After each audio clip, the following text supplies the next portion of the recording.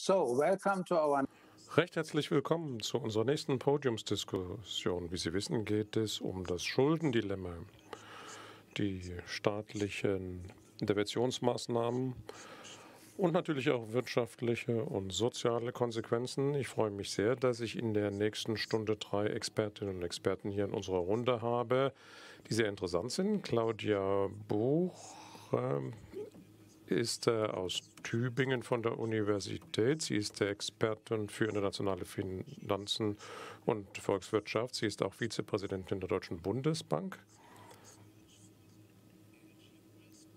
Silvia Merle ist arbeitet bei LG Press Investments. Sie hat viel Forschung auch bei, im Bereich äh, europäischer Wirtschaft äh, ähm, vorgenommen. Wir wissen äh, von ihr, werden von ihr viel über die EU-Situation erfahren während der Pandemie. Sie hat sich da ein Fachwissen erarbeitet. Und Quincy Bodian ist Associate Professor äh, am äh, Wellesley College in den USA. Er ist Experte für deutsche Geschichte und auch internationale Geschichte. Ihn interessierte die Nord-Süd-Politik, äh, soziale Bewegungen und auch die Geschichte des Neoliberalismus, die in unserer Situation, in unserer Diskussion sicherlich interessant sein kann. Staatliche Interventionsmaßnahmen und Staatsverschuldung ist natürlich ein Thema, was in Deutschland immer wieder diskutiert wird. In Deutschland redet man oft über zu viel staatliche Verschuldung und die Stabilitätspolitik, die damit einhergeht. Die Bundesbank ist äh, als äh, Hüter des Grals oft bezeichnet. Für mich ist es deswegen ein großes Vergnügen, Frau Vizepräsidentin Claudia Buch heute hier zusammen. Claudia, vielleicht könnten Sie anfangen, indem Sie uns äh, die deutsche Mainstream-Meinung erklären könnten in Bezug auf Verschuldung und äh, Maßnahmen, die der Staat unternehmen kann. Und vielleicht können Sie auch darüber reden, ob sich jetzt seit 2020, seit der Pandemie etwas verändert hat, Claudia. Thank you very much. Ganz herzlichen Dank, Marc, und danke auch an die Organisatoren, denn das ist ja wirklich ein interessantes Podium. Ich bin mir nicht so sicher, dass ich geeignet bin, darüber zu sprechen, was die Deutschen ganz allgemein über Schulden denken. Ich möchte mir das vielmehr durch den Brille der Bundesbank anschauen, aber auch durch die Brille einer neuen Politik, einen neuen Politikbereich, nämlich die Stabilität, für die sind wir auch zuständig. Also die Preisstabilität, die soll die Bundesbank aufrechterhalten. Das ist das Mandat. Aber seit 2013 sind wir auch zuständig für die Finanzstabilität. Ich möchte also so ein bisschen darüber sprechen, was im letzten Jahrzehnt passiert ist und in der globalen Finanzkrise und äh, nicht nur in der Corona-Krise, aber wie das wiederum unsere Verschuldung beeinflusst hat und was das wiederum bedeutet für die Zukunft. Schauen wir uns die letzten Jahrzehnte an und die Ereignisse dort. Die Staatsverschuldung ist angestiegen, aber auch der Privatsektor hat sich stärker verschuldet. Und das Ganze hat nochmal ein neues Niveau erreicht in der Corona-Pandemie. Also zu viele Schulden, darüber haben sich viele Sorgen gemacht. Und nachdem diese Krise global wurde, hat insgesamt das Schuldenniveau zugenommen, ist noch höher heute als bei der globalen Finanzkrise. Also was jetzt passiert ist und auch während der Pandemie und auch die großen, großen fiskalischen Interventionen unterscheiden sich natürlich sehr stark von dem, was in, einer, in der globalen Finanzkrise passiert ist. Die fiskalischen Maßnahmen, die Anfang letzten Jahres getroffen wurden und nach wie vor ergriffen werden, wurden gerechtfertigt durch den Effekt der Pandemie und den wirtschaftlichen Schock, den diese Pandemie verursachte. Was geschieht also nun? Wie gehen wir um mit erhöhten Schuldenniveaus? Ich glaube aber nach wie vor, dass das absolut notwendig war, hier die Staatsausgaben zu erhöhen aufgrund der wirtschaftlichen Schocks. Und nun zur globalen Finanzkrise, um zu erklären, was seither geschehen ist.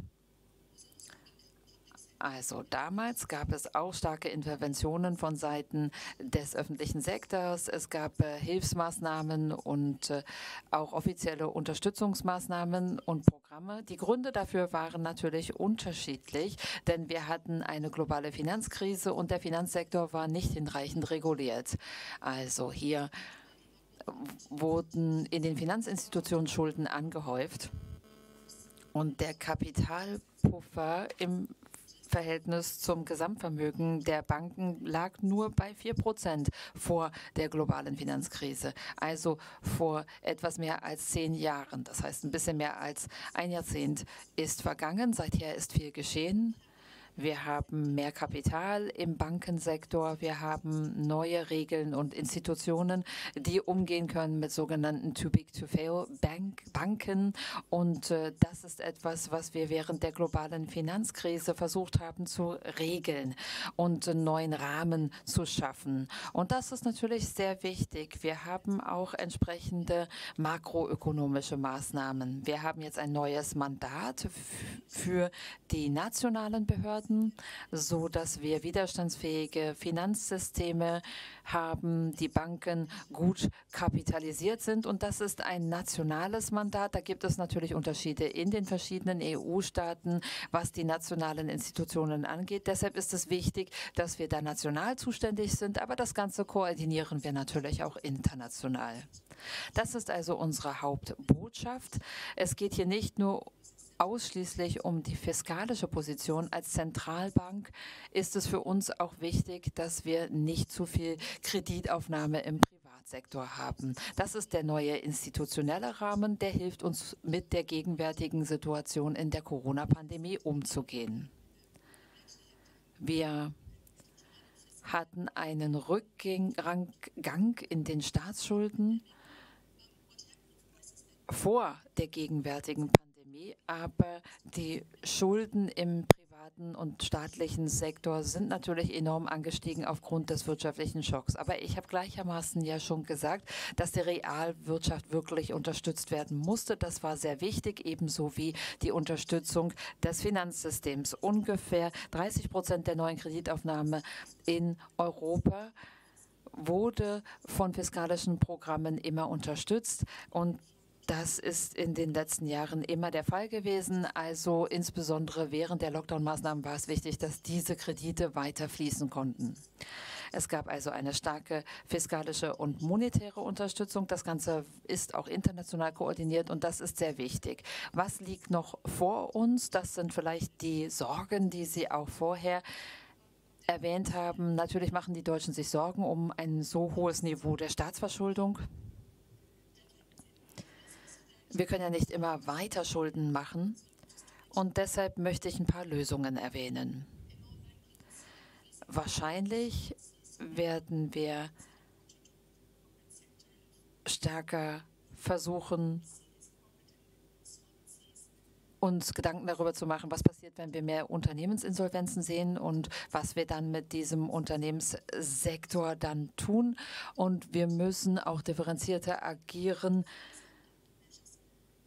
in Bezug auf ein Auslaufen unserer Unterstützungsmaßnahmen und der Finanzsektor muss natürlich auch resilienter werden. Vier Prozent des Gesamtvermögens als Eigenkapital vor der globalen Finanzkrise, das ist dann auf sechs Prozent erhöht worden für die global aktiven Banken relativ zu den Gesamtvermögenswerten. Das heißt, die Resilienz der Banken war natürlich wichtig, um dieser Krise zu begegnen und diese Resilienz muss aufrechterhalten werden, so dass der Finanzsektor nicht erneut dereguliert wird.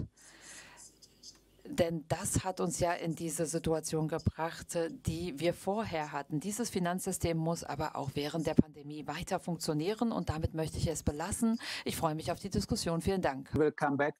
Ja, vielen Dank. Wir werden auf die Argumente auch nochmal zurückkommen. Aber bevor wir das tun, möchte ich alle drei Diskutanten auch mit einbinden. Quinn Slobodian.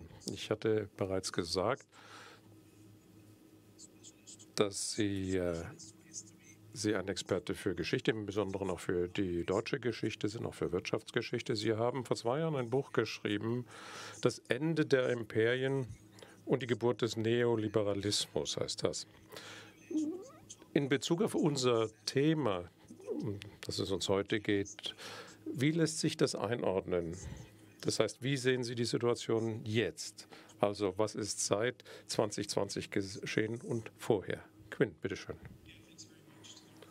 Vielen Dank an die Organisatoren und an meine Diskussionsteilnehmer hier. Eine interessante Ta Zeit, das zu debattieren. Denn gerade jetzt, glaube ich, läuft, beginnt schon so ein Bürgerkrieg zwischen einzelnen Wirtschaftswissenschaftlern, weil sie nicht wissen, was wir in der unmittelbaren Zukunft erwarten sollten wegen der fiskalischen Politik, die beispielsweise auch in den USA jetzt gestartet ist in den ersten Monaten der beiden Administrationen.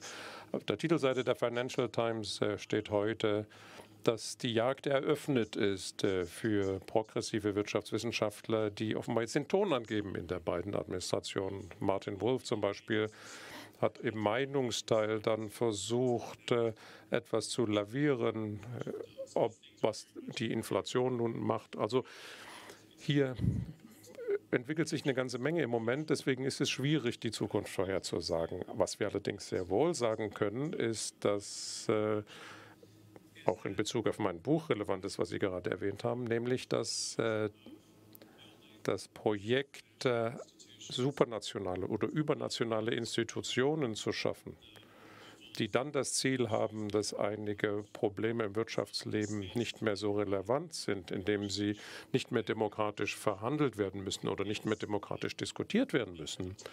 Und sowas ist im Moment unter Druck geraten, solch ein generelles Konstrukt und äh, eine Legitimitätskrise, die wir mehr als je zuvor durchleben. Was bedeutet das? In meinem Buch habe ich diesen jahrhundertealten Prozess beschrieben, wo politische Philosophen und Wirtschaftswissenschaftler immer verstehen wollten, dass die globalen wirtschaftlichen Zusammenhänge, die Freizügigkeit von Kapital und Waren weiter existieren kann, obwohl wir ja jetzt eine Welt sehen, die deutlich mehr fragmentiert ist in eigene politische Systeme und Staaten. Wie können wir diese Welt ausgleichen, sozusagen in Bezug auf Souveränität und Regierung einerseits und der wirtschaftlichen Warenströme? Und eine der Lösungen, die dann anklangen, war, man muss das staatliche System weiter so laufen lassen, aber darüber eine zweite Ebene der überstaatlichen Institutionen einrichten, wie zum Beispiel den IWF, der verantwortlich ist äh, für äh, die Geldstabilität und Geldpolitik oder so zum Beispiel wie die Europäische Wirtschaftsgemeinschaft, später dann die Europäische Union, die ja auch die Aufgabe hatte, sicherzustellen, dass Wettbewerb gewährleistet wird, robust und äh, handhabbar zwischen den einzelnen Mitgliedstaaten. Und dann mit, der, mit dem Entstehen der Europäischen Währungsunion, die ja für die Währungsgeschicke des gesamten Raumes zuständig war. Und dann 1995 noch die Welthandelsorganisation, äh, die ja auch eine ähnliche Vorstellung hatte, nämlich, dass demokratische Politik auch disruptiv sein kann.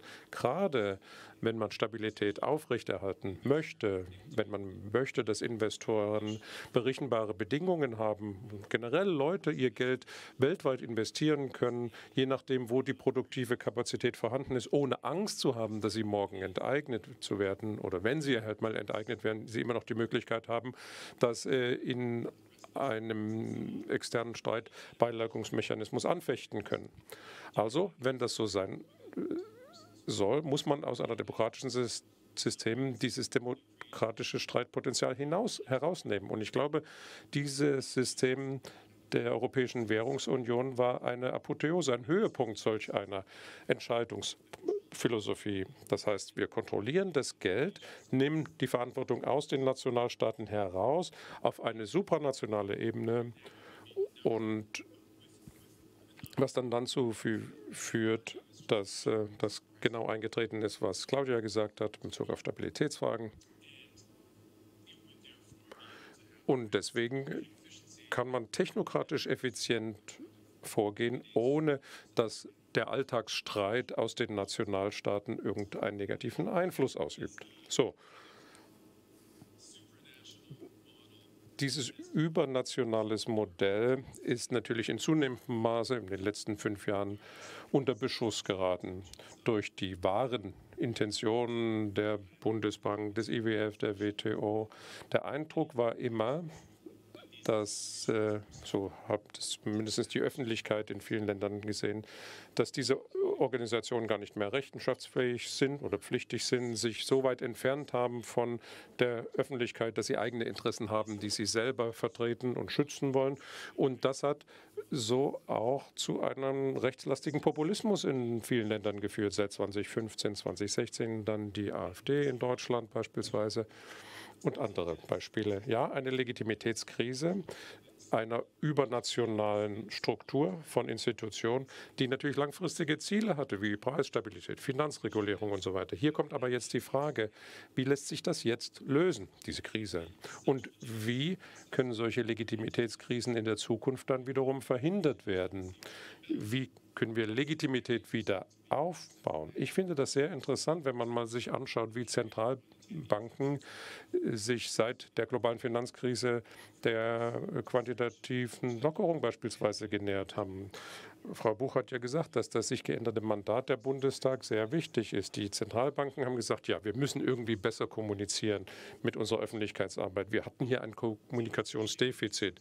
Insofern wäre es ganz interessant, sich mal das Zentralbanksmuseum anzuschauen äh, in Finnland und London, wo ich auch gewesen bin. Und ich habe mir dort mal angeschaut, wie unterschiedlich man versucht zu kommunizieren mit den Bürgerinnen und Bürgern und um zu sagen, das ist gar nicht technokratisch als Institution, wir irgendwo abgehoben rumschweben, sondern nein, wir sind sehr relevant für das Alltagsleben und die Alltagsstabilität für das Leben der Menschen. Was hat nun die Corona-Krise getan? Natürlich hat sie hat einen großen Schaden äh, den supranationalen Institutionen zugefügt. Äh, alles wird wieder auf nationaler Ebene gesteuert. Lieferketten, Impfstoffentwicklung und Lieferungen Lieferketten sowieso, also lokale äh, Regulierung statt übernationale. Die Herausforderungen von China hat zu einer entsprechenden Mentalität auch in den USA und unter Trump geführt, was sich fortgesetzt hat unter Biden. Und jetzt sehen wir die Herausforderung, dass wenn man sich wieder erholen will, also zurückkommen will aus dieser Covid-Krise, man gleichzeitig immer noch die Legitimitätskrise hat, die nicht verschwunden ist, und ein bevorstehender Bürgerkrieg, den ich schon eingangs erwähnt hatte, in Bezug auf Inflation und Fiskalpolitik.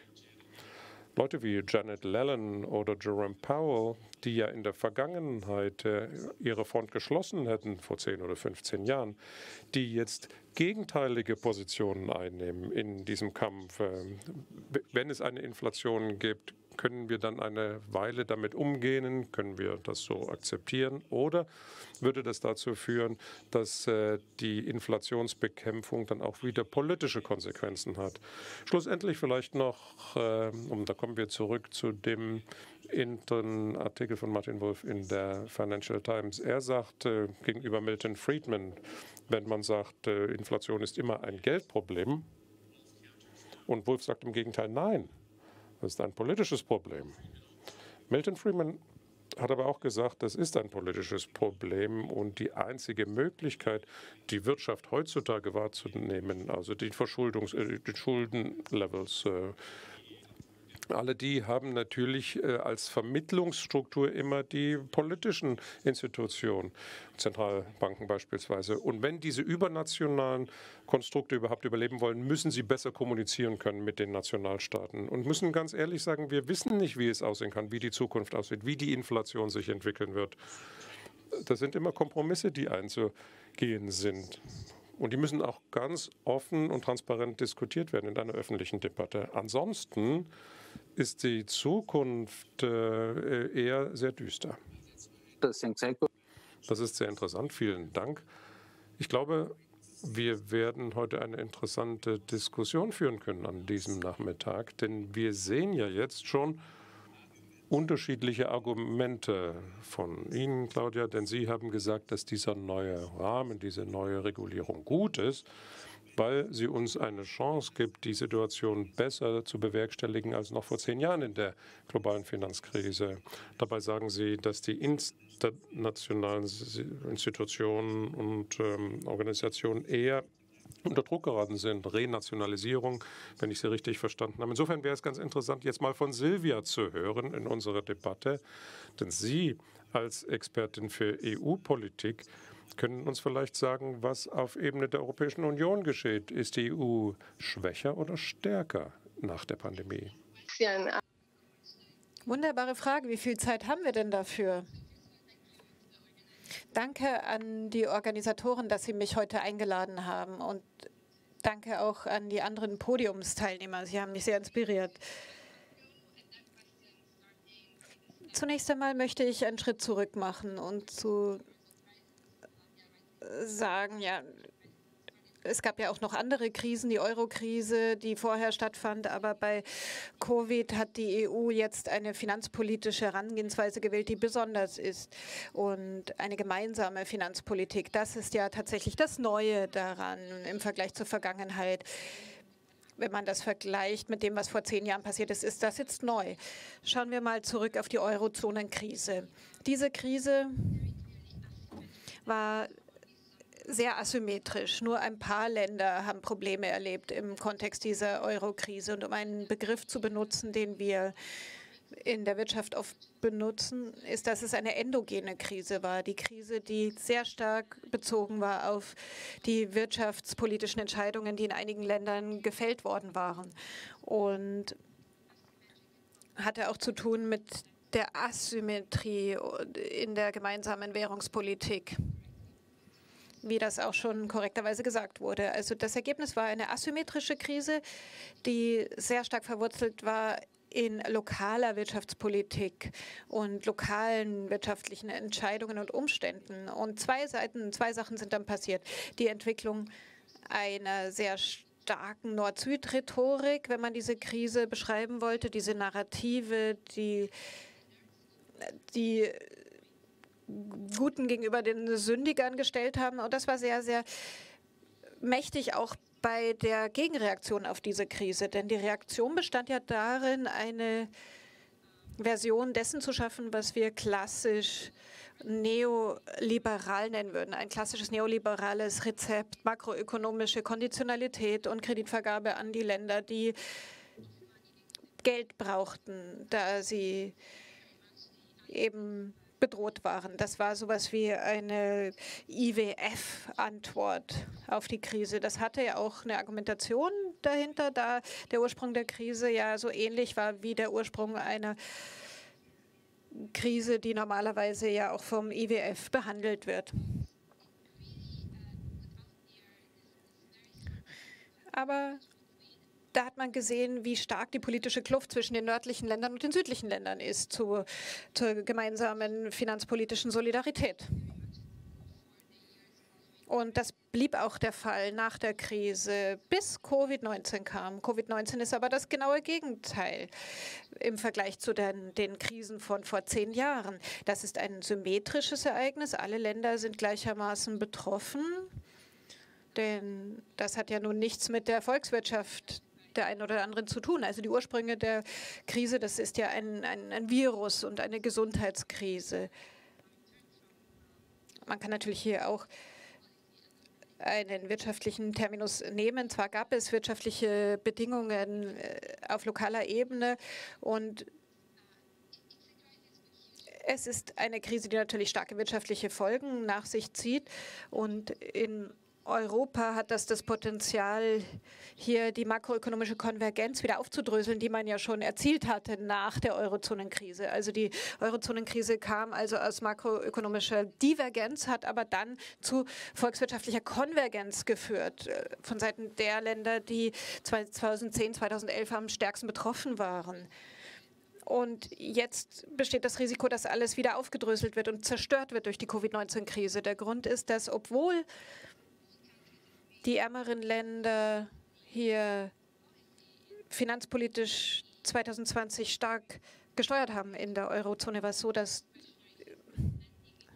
die fiskalpolitischen Ausgaben bei 4 Prozent des Bruttoinlandsproduktes waren im Durchschnitt und bei der Finanzkrise war die äquivalente Zahl bei weniger als 2 Prozent. Die finanzpolitische Steuerung wurde also hier viel, viel stärker herangezogen. Weil aber nun die Grundvoraussetzungen so waren und weil wir ja aus einer anderen Krise vor zehn Jahren herausgetreten sind, waren einige Länder in einer schwierigeren Lage und waren nicht so sehr fähig, Ausgaben zu machen und diesen Schock von 2020 abzufedern. Und man kann das sehr stark beobachten, wenn man sich anschaut, welche Maßnahmen von verschiedenen Ländern ergriffen wurden im Rahmen der Finanzpolitik. Wenn man jetzt Deutschland und Italien beispielsweise vergleicht. Italien hat Garantien benutzt. Das ist eine Art, wie man direkte Ausgaben aufschieben kann. Also sozusagen Geld kann man blockieren für die Zukunft, aber man gibt jetzt im Unmittelbar nicht aus, weil man ja einen geringeren Spielraum hat, einen finanzpolitischen Spielraum, der kleiner ist, kann aber negative Auswirkungen haben für die fiskalische Stabilität in der Zukunft. Das ist nur ein Beispiel, das zeitigt, ja, den Schock haben wir alle gemeinsam erlebt, aber wir haben festgestellt, dass nicht jeder in der Lage war, gleich zu reagieren. Und das ist ein großer Unterschied zur Krise von vor zehn Jahren. Jetzt haben wir also EU Finanzpolitik die, und Ausgaben, die ganz anders gelagert sind und die man sich nie hätte vorstellen können. Das ist ja nie da gewesen. Hätte man sich vor ein paar Jahren nicht vorstellen können, wenn man uns da gefragt hätte oder vor drei Jahren noch, ob wir sowas wie den Wiederaufbauplan Next Generation EU überhaupt uns vorstellen könnten, dass das verabschiedet werden würde auf der EU-Ebene, dann hätten wir gesagt, nein, niemals, denn die Bedingungen dafür gab es ja nicht. Es gibt also fiskalpolitische, finanzpolitische Solidarität als Reaktion auf die Krise und das ist etwas komplett Neues, wenn man es mit der Vergangenheit vergleicht. Und potenziell macht das die EU natürlich stärker, da man jetzt historisch starke Tabus der europäischen Integration bricht, nämlich die gemeinsame gegenseitige Absicherung. Jetzt hat man die 750 Milliarden, die im nächsten Haushaltszyklus integriert werden. Und dann gibt es noch explizite Finanztransfers. Manche Länder werden also einen Finanztransfer erhalten aus diesem Wiederaufbauplan Next Generation EU. Und das gab es in der Vergangenheit noch nie. Man experimentiert also mit den Grenzen der europäischen Finanzpolitik, wenn man so will verschiebt diese. Die EU wird dadurch stärker oder schwächer? Fragezeichen. Das hängt noch an etwas anderem. Wir müssen eine Debatte führen ab 2022, was wir dann letztlich mit den Schulden machen, die sich dann angehäuft haben werden auf staatlicher Ebene, denn die Asymmetrie verbleibt ja, wenn Sie jetzt die Prognosen vergleichen für Deutschland im Vergleich zu Bruttoinlandsprodukt 2020, auch wenn man die finanzpolitische Unterstützung in den Blick nimmt, die Deutschland der Regierung zukommen ließ, das ist unter 90 Prozent. Bei Italien grenzen wir an 160 Prozent. Das ist ja fast das Doppelte. Also das ist so eine Kluft und so eine Asymmetrie, die wir natürlich noch ausdiskutieren müssen und die wir dann überbrücken müssen in den nächsten Jahren. Diese Diskussion wird bestimmen, ob die EU wirklich gestärkt aus dieser Initiative hervorgehen wird oder ob das politisch vergiftend wirkt am Schluss. Wonderful. So okay, wunderbar. Vielleicht sollten Sie alle drei jetzt mal äh, aufeinander Bezug nehmen, wenn Sie das möchten. Claudia, Sie waren ja die Erste. Ich bin mir sicher, dass es da eine ganze Reihe von Punkten gerade gab, auf die Sie Bezug nehmen müssen zu Quinn und Silvia. Bitte schön. Ja, vielen Dank. Das waren wirklich sehr exzellente Beiträge. Und ich stimme zu. Die politische Ökonomie ist so wichtig, all diese Diskussionen zum Thema Solidarität. Und ich möchte nochmal zurückkommen auf die globale Finanzkrise.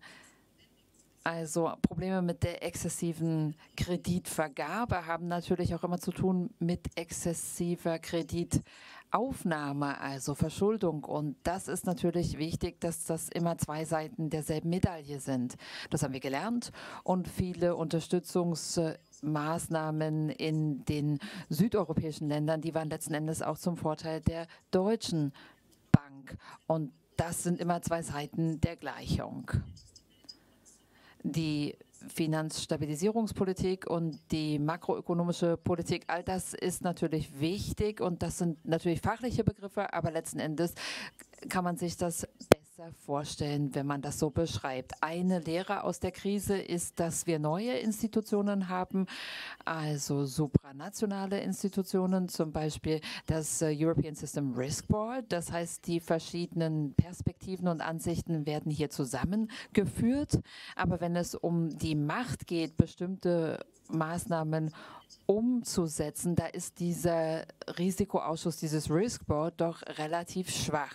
Also letzten Endes liegt die ganze Macht auf nationaler Ebene und deshalb brauchen wir die demokratische Legitimität, wir brauchen die Diskussionen im Inland. Nicht immer stimmen wir überein, aber wir müssen wirklich das Ganze zurückführen auf den parlamentarischen Prozess.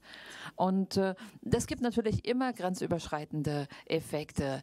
Entscheidungen können auf nationaler Ebene getroffen werden mit unseren verschiedenen Institutionen, aber es gibt natürlich auch grenzüberschreitende Effekte durch die Entscheidungen unserer Institutionen. Und deshalb braucht man eine Art Koordinierungsorgan in Europa. Und einige dieser neuen Institutionen sind manchmal kompliziert, manchmal ist es auch nicht so einfach, Schlussfolgerungen zu erreichen und Einigung zu erreichen. Aber wir müssen natürlich schauen, was sind die Lehren aus diesen funktionierenden Institutionen. Und das wären dann wiederum Lehren aus der Pandemie für uns alle. Quinn hat etwas sehr Wichtiges gesagt. Die demokratische Legitimierung dieser Institutionen ist so wichtig und die Bundesbank legt natürlich Wert darauf. Wir können immer nur agieren innerhalb unseres Zuständigkeitsbereiches, innerhalb unseres Mandats. Manchmal werden wir gefragt, warum agieren wir nicht im Bereich Klimaschutz und dann erklären wir immer, wir sind unabhängige Einrichtungen, technokratische Institutionen und wir müssen wirklich ganz sicher sein, welches Mandat wir haben. Das Mandat wird uns vom Volk gegeben und wir füllen das lediglich aus. Ob das Ganze nun korrekt funktioniert oder nicht, das ist wieder eine separate Frage, aber das ist letzten Endes der Zweck dieser Mandate oder Zuständigkeitsbereiche. Fiskalpolitik. Hier brauchen wir eine Diskussion, die ein wenig differenzierter werden sollte. Da geht es nicht nur um Fiskalpolitik an sich oder die Staatsausgaben an sich, sondern auch eine Diskussion dazu, wohin das Geld geht was die sozialen Sicherungsziele sind, die wir damit verfolgen. Eine solche Diskussion wäre sehr hilfreich auf nationaler und auf europäischer Ebene. Die Solidarität, die wir in der Krise gesehen haben, die wurde wirklich gebraucht. Ich stimme überein, aber es wird äh, zu irgendeinem Zeitpunkt in Europa Diskussionen geben. Können wir uns das alles leisten? Ist das wirklich gut für das Wachstum? Ist dieses Wachstum nachhaltig? Was bedeutet das für uns? Das ist sozusagen dann ein differenzierter Ansatz. Wir müssen versuchen, unsere Politik zu evaluieren und das brauchen wir auch bei uns in Deutschland. Kurzer Punkt meinerseits und dann machen wir weiter mit Quinn und äh, Silvia. Es ist interessant, wenn Sie sagen, dass es eine Diskussion braucht, was nun die Staatsverschuldung angeht und wie es damit weitergehen soll in den nächsten Schritten. Aber interessanterweise gibt es in Deutschland keine Diskussion. Denn Deutschland war ja auch das Land, wo ein, vor zehn Jahren oder vor 15 Jahren eine große Debatte entstand während der Euro-Krise. Aber jetzt scheint hier in Deutschland gar nichts diskutiert zu werden. Da gab es mal einen, einen Bericht, der vor ein paar Tagen in der Süddeutschen Zeitung erwähnt wurde, wo ehemalige äh, Politiker wie Per Steinbrück und äh, Herr Oettinger und andere ihre Position klargestellt haben und eine Diskussion verlangt haben in Deutschland. Die ist aber nicht vorhanden. Warum? Ich kann versuchen, das zu beantworten. Eine Antwort wäre, dass die Kommunikation mit den Fiskalprogrammen also sowohl die inländischen als auch die europäischen Programme wurden ja erwähnt. All das wurde wirklich gut kommuniziert. Es wurde wirklich gut mitgeteilt, warum das in dieser Zeit notwendig ist. Und natürlich ist das dann wieder anders, wenn wir in der Zukunft versuchen, diese Themen noch einmal neu zu bewerten und zu beantworten. Aber die wirtschaftliche Notwendigkeit, die wurde sehr gut erklärt. Und das ist einer der Gründe. Ich weiß nicht, ob andere da eine andere Meinung dazu haben. Ja, dann vielleicht mal an Quinn, den Historiker. Ja, mein Kommentar zu dem, was Silvia gesagt hat, auch danke für diesen Bezug, dass die globale Finanzkrise ja auch äh, sich mit heute vergleichen lässt äh, und wie oder zu welchem Grade man äh, fiskalische oder Geldpolitik äh, sich äh, verändern können und wie sehr sie sich verändert haben im Vergleich der beiden Krisen.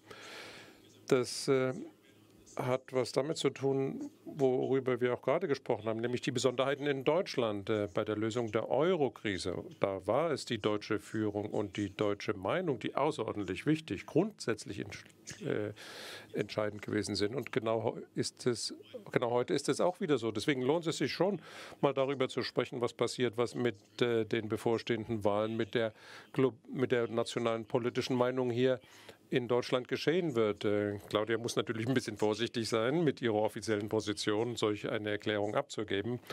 Äh, vielleicht ist Silvia da in der Meinungsbildung etwas äh, freier in Bezug auf was die Grünen oder wie die Grünen sich positionieren im Vergleich zu den anderen, gerade in Bezug auf die Verschuldung. Denn man ist ja lange immer wieder davon ausgegangen, dass es bei den Volksparteien eher ein Konsens herrscht, dass eine Schuldenbremse oder eine schwarze Null als Politik eine Notwendigkeit ist für die deutsche exportorientierte Wirtschaft. Die Grünen dagegen sind zumindest auf dem Papier dagegen. Sie sagen über eine CO2-Bremse und nicht eine Schuldenbremse. Meinen die das ernst? Wollen die das wirklich durchziehen? Werden Sie wirklich somit die meisten Stimmen gewinnen können bei der Bundestagswahl? Und wenn ja, wie würde denn das die gesamte europäische Geschichte ändern, nicht nur das deutsche Narrativ? Wie sehen Sie das?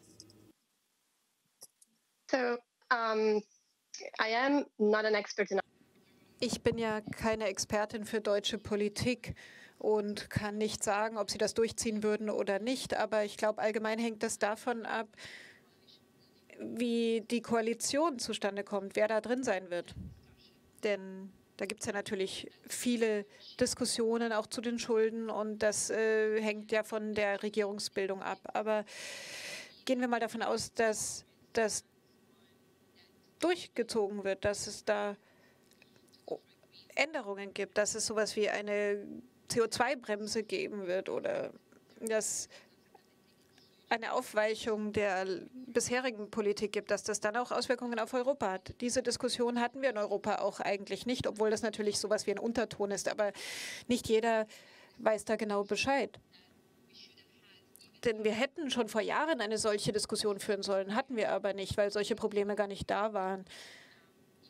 Aus wirtschaftlicher Sicht wäre das notwendig gewesen, nicht so sehr aus politischer Sicht. Aber ich denke, wir müssen diese Gespräche führen, und zwar in einem weiteren Kontext, indem man den Stabilitäts- und Wachstumspakt diskutiert und die Fiskalpolitik nach 2022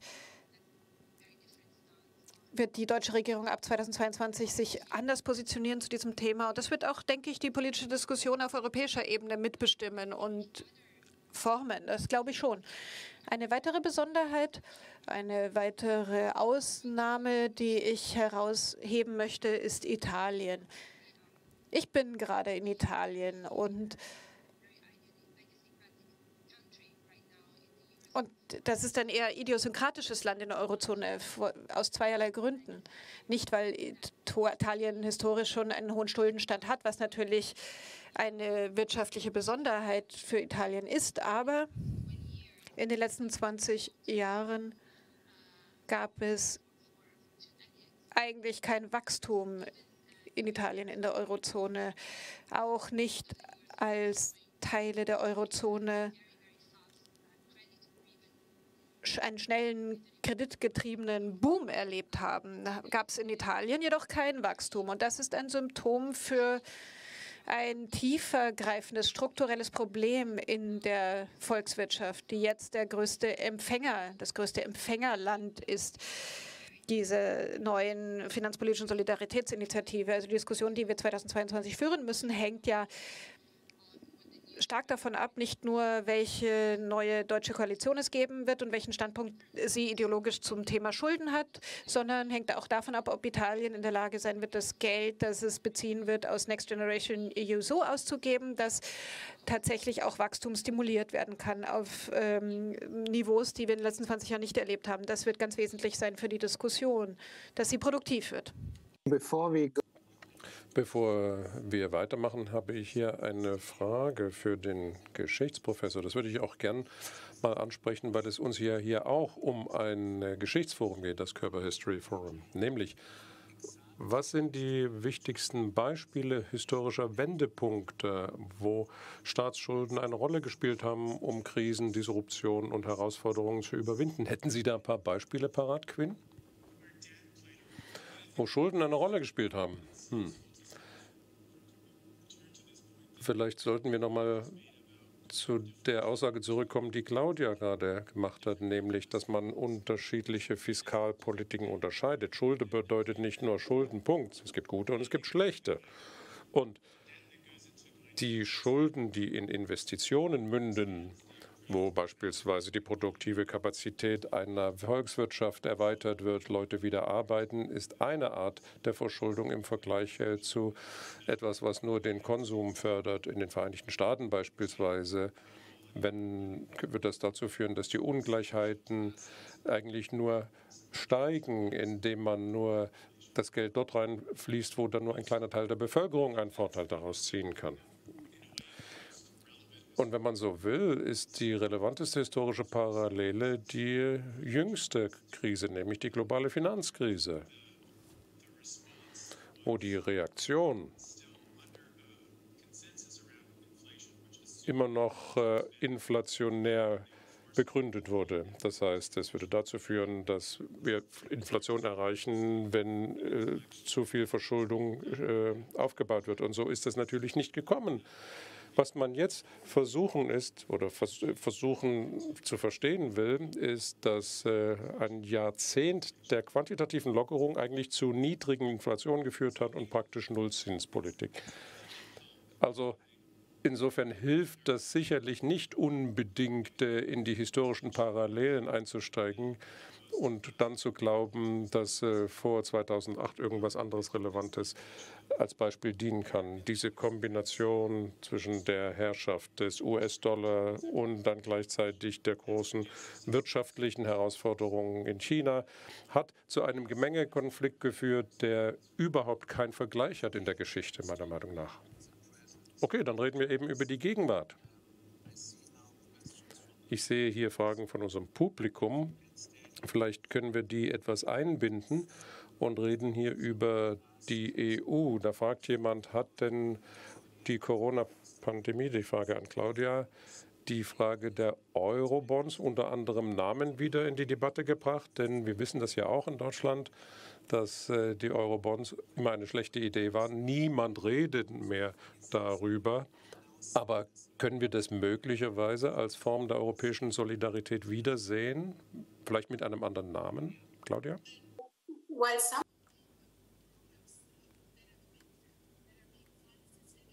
Einige der Programme, die gegenwärtig finanziert werden. Silvia hat die ja erwähnt im Zusammenhang mit der Krisenbewältigung und der Solidarität sind gemeinsame Finanzierungsinstrumente. Aber das ist nicht diese alte Diskussion über Eurobonds. Quinn hat das ja gesagt. Diese Diskussion muss auf politischer Ebene stattfinden. Da gibt es unterschiedliche Präferenzen, auch der Wähler. Und diese spielen dann eine Rolle. Das liegt jetzt nicht an mir. Was meine persönlichen Präferenzen sind, spielt hier keine Rolle, sondern die wir reden vielmehr darüber, was passiert, wenn wir aus dem Krisenmodus heraustreten und wie Europa in der Zukunft aussehen sollte. Das ist eine Diskussion, die wir zu einem gegebenen Zeitpunkt führen müssen, aber das ist eine politische Diskussion. Ich möchte eines sagen zu den diskutierten Themen. Ich kann nichts sagen über Dinge, mit denen ich mich nicht auskenne und auch nichts über zukünftige Wahlergebnisse.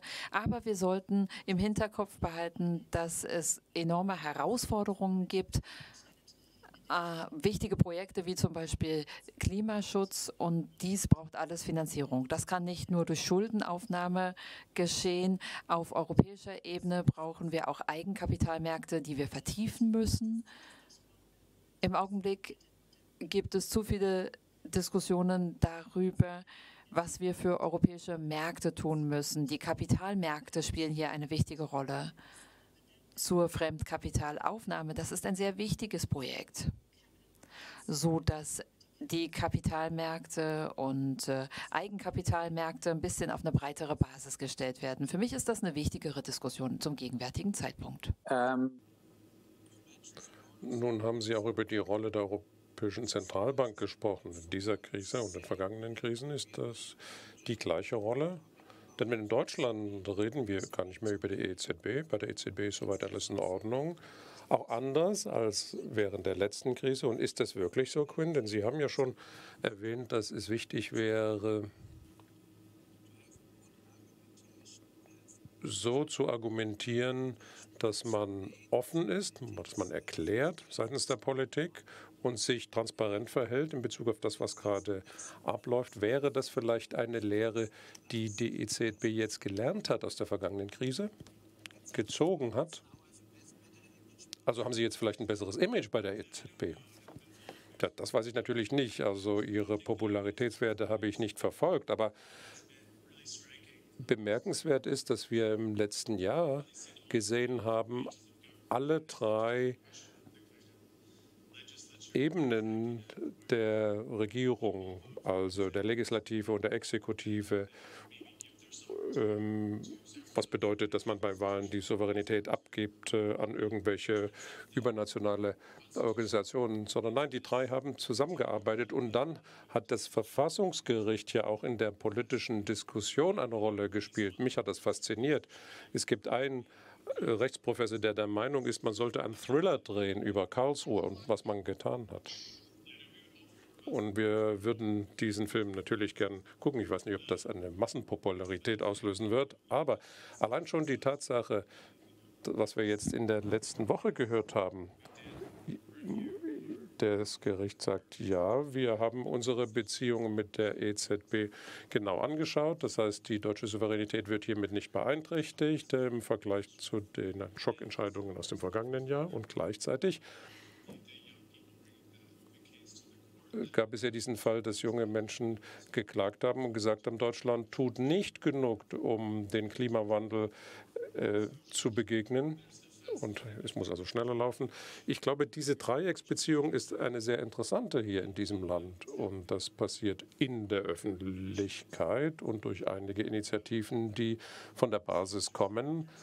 Ob die nun ein Eigeninteresse haben oder nicht, einige haben das sicherlich, oder Bernd Lucke und die AfD, mit der Unterstützung des Milliardärs äh, August von Feng sind sicherlich nicht die Durchschnittsdeutschen, aber die haben natürlich ihre eigenen Interessen. Äh, und äh, dann wird sowas offen diskutiert und dann ändert das vielleicht auch, wie Claudia gesagt hat, das Mandat, den diesen Institutionen nun zu eigen ist. Also die Maschinerie läuft hier richtig. Ich glaube, es gibt noch mehr Beispiele, wie diese Dreieckskonversation funktioniert in der Zukunft. Und nun kann es natürlich sein, dass die, äh, dass die äh, Rolle der EZB immer wieder hinterfragt wird. Wenn man sich die Populisten anschaut, von Alexis Tsipras äh, bis zu Pablo Iglesias in Spanien, die ja Beispiele dafür sind, wenn man komplett nochmal neu verinnerlichen will, wie Europa funktioniert. Äh, diese Kampagne hat etwas Unterstützung genossen in den Anfangsphasen, aber dann eben nicht mehr. Die einzige letzte Initiative, die noch Unterstützung hatte, war der Brexit. Und äh, vielleicht sind die Euroskeptiker auf der linken und rechten Seite jetzt etwas beflügelter. Salvini oder Le Pen wollen doch gar nicht mehr aus der EU. Das Gegenteil ist der Fall. Sie wollen mehr von Brüssel haben. Insofern unterscheidet sich die Situation schon von den nationalen Alleingängen. Also die Stimmung hat sich geändert, nicht mehr Fragmentierung, sondern mehr Zugang zu den Kreditänen. Ja, Claudia. Silvia und Claudia, wollen Sie da noch was hinzufügen? Ja, kann ich vielleicht hier noch einhaken zur Kommunikation und Italien und zur EZB. Es ist schon interessant, wie sich die EZB, weiterent EZB weiterentwickelt hat bei dieser Krise. Wenn man sich die frühen Zeiten der Pandemie anschaut in Europa, als Italien das einzige Land war so ziemlich, das hier vom Virus stark betroffen war. Das war Anfang März 2020. Da erinnern Sie sich vielleicht dass Christine Lagarde auf der Pressekonferenz gesagt hat, als Antwort auf die Frage, was die EZB jetzt denn vorhabe, um zu gewährleisten, dass die am meisten betroffenen Länder auch finanziell gestützt werden. Mm, da hat sie natürlich mit ihrer Antwort auch ein bisschen Turbulenzen auf dem Markt ähm, verursacht und mit ihrer negativen Antwort und hat das dann auch wieder zurückgenommen, hat sich entschuldigt. Aber der mutigste Schritt, den die EZB unternommen hat, nach, war dieses ähm, Kaufprogramm, das Pandemic Purchasing Program. Das ist ein revolutionäres Instrument, denn da hat die EZB explizit gesagt, wir werden flexibel sein bei all diesen Zwängen, die wir normalerweise berücksichtigen und beachten müssen bei unseren Programmen. Also diese klassischen Programme, wo gemeinhin anders entschieden wurde. Und wenn man jetzt die Umsetzung in den Blick nimmt, im Jahr 2020, in den Monaten, als die Pandemie tatsächlich in der dunkelsten Phase war, also im Frühjahr und im Frühsommer 2020, dann erleben wir, dass sie hier sehr flexibel äh, vorgegangen sind bei ihrer eigenen Politik, ihrer Einkaufspolitik. Also Insbesondere hat man da Italien und Spanien in den Blick genommen im März und April und dann haben, hat man das Ungleichgewicht wieder absorbiert, absorbiert. Und diese, naja, das ist eine Abweichung von dem Konzept die wir so vorher nicht erlebt haben. Sehr, sehr flexibel. Die EZB selbst wurde also viel flexibler, viel reaktiver, viel bedarfsorientierter bei der Umsetzung der Finanzpolitik. In den Grenzen natürlich, die vom Mandat abgesteckt sind. Aber das ist doch etwas, was sehr, sehr relevant ist für die Architektur der Währungsunion. Claudia dazu? Vielleicht möchte ich nochmal zurückkommen auf das, was ich vorher bereits gesagt habe. Diese Gesamtpolitik war so eine Art Paket ohne explizite Koordination, aber es war ziemlich deutlich am Anfang der Pandemie, dass alles getan werden musste, Fiskalpolitik, Monetärpolitik und auch eine Aufsicht so dass man die Zwänge lockern kann und entsprechend die Banken dadurch stärker Kredite vergeben können. Natürlich innerhalb des bestehenden Regulierungsrahmens. All das ist gleichzeitig geschehen und das war sehr effektiv, wenn es darum geht, die wirtschaftlichen Schocks abzufedern, auch für die Finanzsektoren, so dass die Finanzsektoren weiter funktionieren konnten. Die Schwierigkeiten ergeben sich erst im Laufe der Zeit. Irgendwann ist die unmittelbare Krise vorbei, das Wirtschaftswachstum springt wieder an, wir geben wieder Geld aus und dann ist die Frage, wie können wir dann all diese Ausnahmekrisenprogramme zurückfahren? Und Ansonsten gibt es vielleicht eine Fiskal- und Finanzdominanz und dass das Wachstum an sich nicht so anspringt, wie es sollte, dass vielleicht nicht genug, genug Kreditaufnahme passiert. Und dann müssen wir entsprechend unsere Wirtschaftshilfen ein bisschen ändern. Und wir haben die Institutionen und die Mandate, um das Ganze auch zu managen. Aber ich glaube, das Ganze wird nicht leicht. Das wollte ich nur noch mal sagen.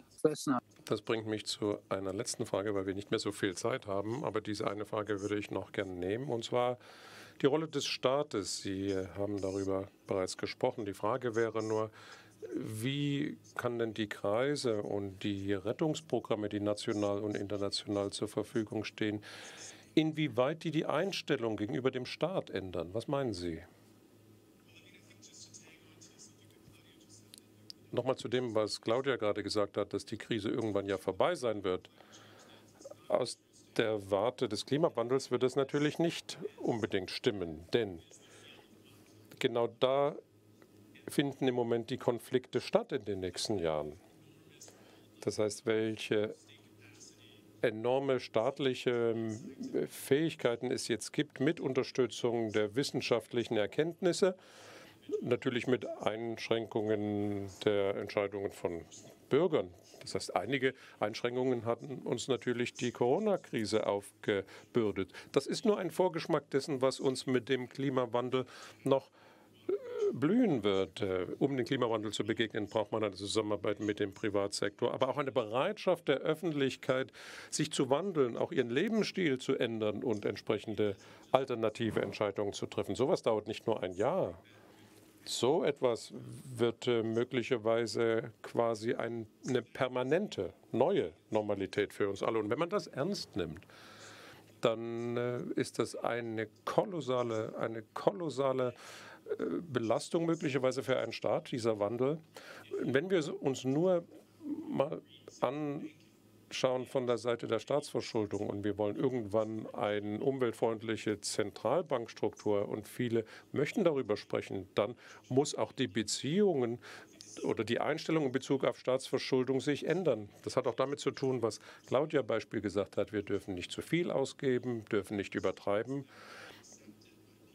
das ist etwas, was äh, man natürlich entsprechend formulieren muss, damit diejenigen, die diese äh, Ausgabenpolitik entscheiden müssen, für nachhaltiges und umweltfreundliches Haushalten sehr wichtig. Und ähm, die alten Debatten reichen da vielleicht nicht mehr. Die nützen uns nicht mehr. Was ich sagen möchte, ist, dass äh, es sehr schwierig sein wird, für einen Staat solche Entscheidungen zu treffen. Gerade in der Diskrepanz zwischen Nord und Süden, das hat Claudia kurz angesprochen. Da gibt es einerseits die sparsamen Staaten in Europa, die wahrscheinlich nicht damit d'accord gehen, wenn das die Staatsschuldenquote sich ändern soll, wenn nicht es zu einem Paradigmenwechsel kommt seitens der deutschen politischen Führung vor dem Hintergrund des Klimawandels. Gut, jetzt haben wir noch zwei Minuten. Ich will versuchen, noch eine Abschlussrunde hier zu beginnen mit Ihnen allen. Ich möchte Sie bitten und äh, sich möglichst kurz zu fassen. Was glauben Sie?